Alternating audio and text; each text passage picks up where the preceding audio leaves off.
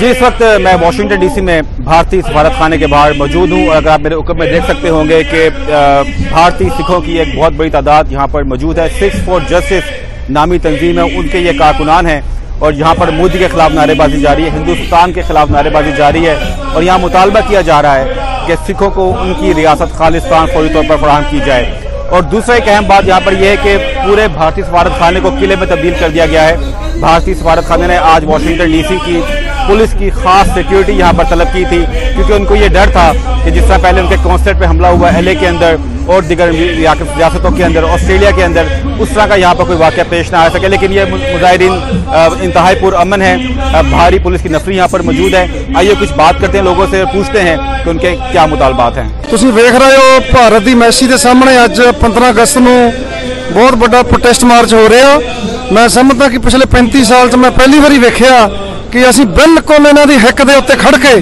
ਅੱਜ ਪ੍ਰੋਟੈਸਟ ਕਰ ਰਹੇ ਹਾਂ ਬਿਲਕੁਲ ਮੈਸੀ ਦਾ ਦਰਵਾਜ਼ਾ ਇੱਥੋਂ 15-20 ਫੁੱਟ ਤੇ ਆ ਦੁਨੀਆ ਨੂੰ ਦੱਸਣਾ ਚਾਹੁੰਦੇ ਆ ਕਿ ਪੰਜਾਬ ਆਜ਼ਾਦ ਹੋਣਾ ਚਾਹੁੰਦਾ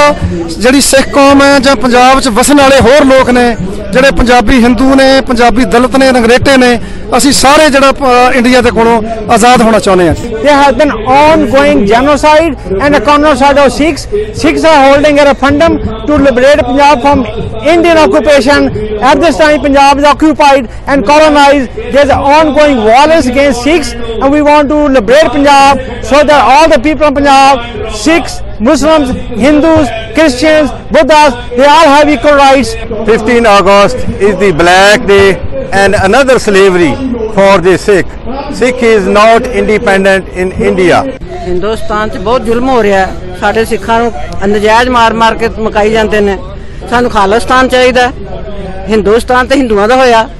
ਸਾਨੂੰ ਉਦੋਂ ਜਿੱਦਣ ਪਾਕਿਸਤਾਨ ਹਿੰਦੁਸਤਾਨ ਬਣਿਆ ਸੀ ਕਹਿੰਦੇ ਸੀ ਤੁਹਾਨੂੰ ਖਾਲਿਸਤਾਨ ਦਿਆਂਗੇ ਹੁਣ ਬੇਈਮਾਨ ਹੋ ਗਏ ਨੇ ਹੁਣ ਸਾਨੂੰ ਮਾਰ-ਮਾਰ ਮਕਾਈ ਜਾਂਦੇ ਨੇ ਕੀ ਕਰੀਏ ਹੁਣ ਜਿਨ੍ਹਾਂ ਦੇ ਮਾਵਾਂ ਦੇ ਪੁੱਤਰ ਮਰਦੇ ਨੇ ਉਹ ਜਿਉਂਦੀਆਂ ਨੇ ਕੋਈ ਮਾਵਾਂ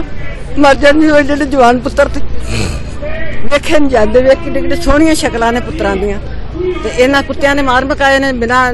ਬਾਤ ਤੋਂ ਹੀ ਇਹ ਕਹਿਣਾ ਚਾਹੁੰਦੇ ਆ